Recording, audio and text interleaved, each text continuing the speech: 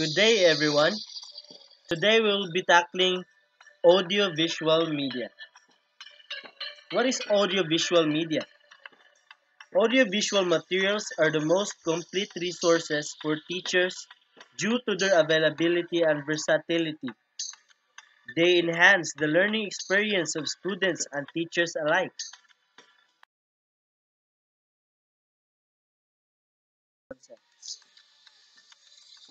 Audio material. Audio material are tools to convey information through sound. Second one is the audio.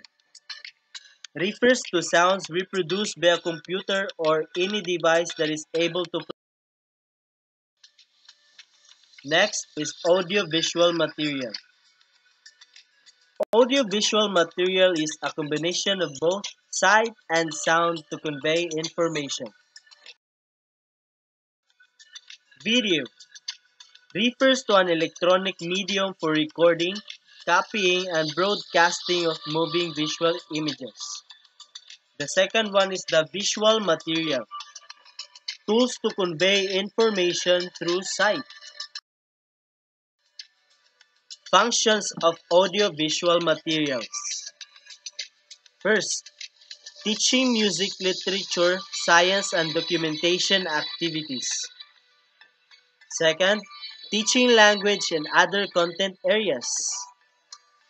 To foster oral communication. To motivate interpretation. Lastly, to make use of sketches and broadcasts. Audio media. Audio recordings. This may come in cassettes or CDs, as video shown in the screen. Radio broadcast. It is the transmission of radio programs can be live or taped.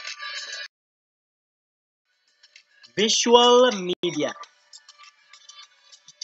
One of the examples of visual media are bulletin boards a form to display information on a board. Posters. A form of displaying information use, using text and pictures. Audio-visual media. Examples are the motion picture videos. Motion picture videos are videos of sound mixed with motion images. Second one is the films.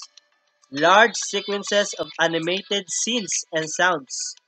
Perfect Lion King. Then, the guidelines for audiovisual materials in learning and teaching. First, images should be as small as possible. Always provide alternative content. Check copyright. Use MP4 format a size of 640 by 400 and a speed of 500 kbps. Next, provide transcripts for audio and video files. Lastly, save audio files in mono format. Then let's proceed to uses of audiovisual materials.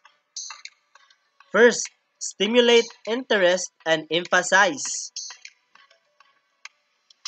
Promote efficiency. Clarify subject.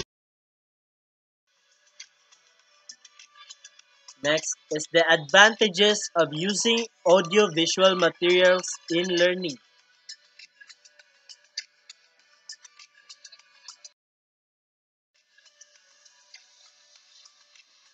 It provides diverse teaching techniques for learning. Simplify and clarify complex topics. Allow students to learn at their pace.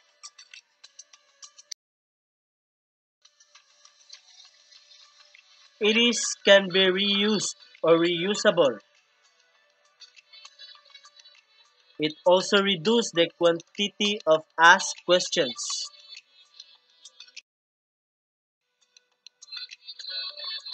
Next is the disadvantages of using audiovisual materials in teaching.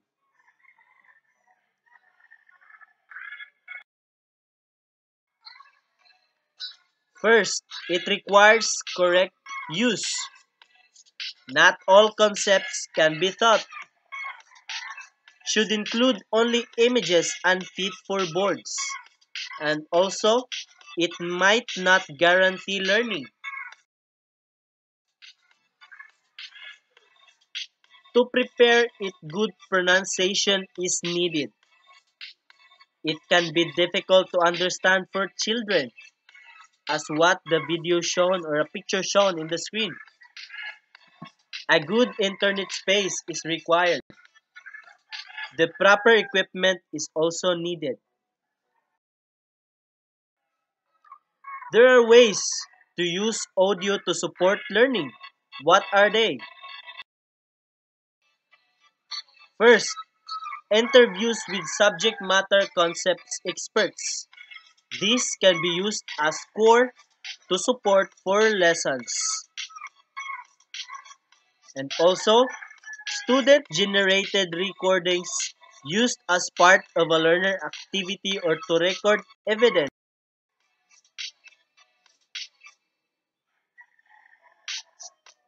Second, unit podcast example. Weekly updates of teaching material and current situations. Live online discussions. It is between two or more people.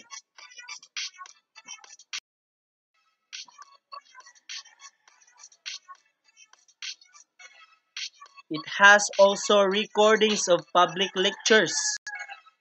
Those can be repurposed and used for different contexts and subjects.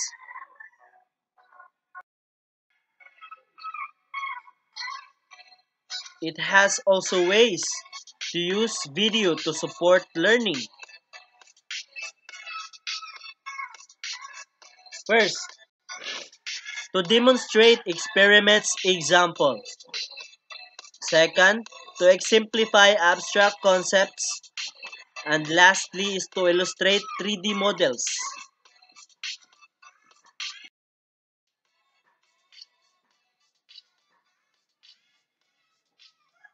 It also demonstrates time passage examples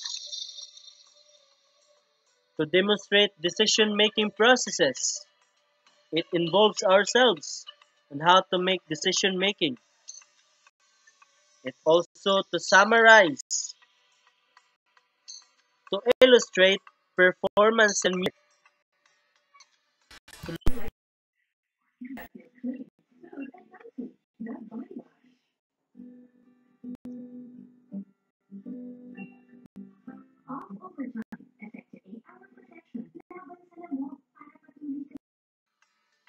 Then let's move on now to the three steps in producing audio visuals. First, planning. The most critical aspect of producing. It requires a purpose why, brainstorming how, preparation. Next is the production. The shooting or recording stage is what most people consider the production phase of an audio or video project.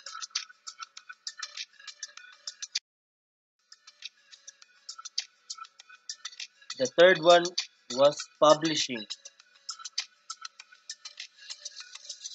The publishing phase is the final part of producing audio or video for educational purpose and is referred to as post-production. Then let's move on now to the programs to create, edit, and publish videos.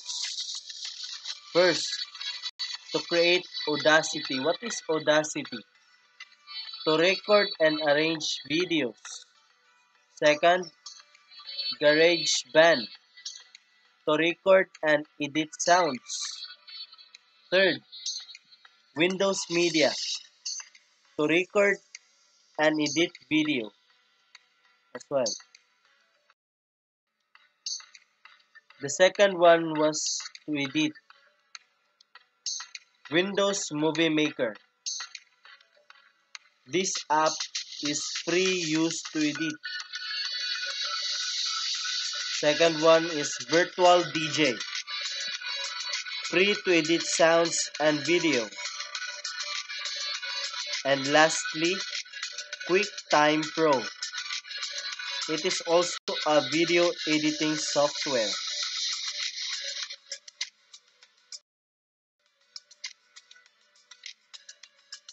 The third one is to publish. Use the web accessing YouTube, Vimeo, or SlideShare. Thank you for watching this educational vlog. This is Marlon Socia Torreon and thank you for watching.